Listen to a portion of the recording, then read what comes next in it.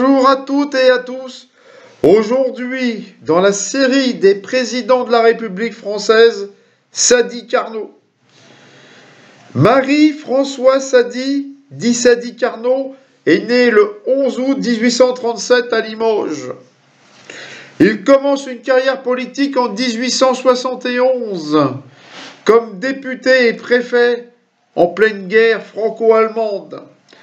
La démission de Jules Grévy lui permet d'être élu président de la République le 3 décembre 1887. Les scandales politico-financiers marquent son mandat.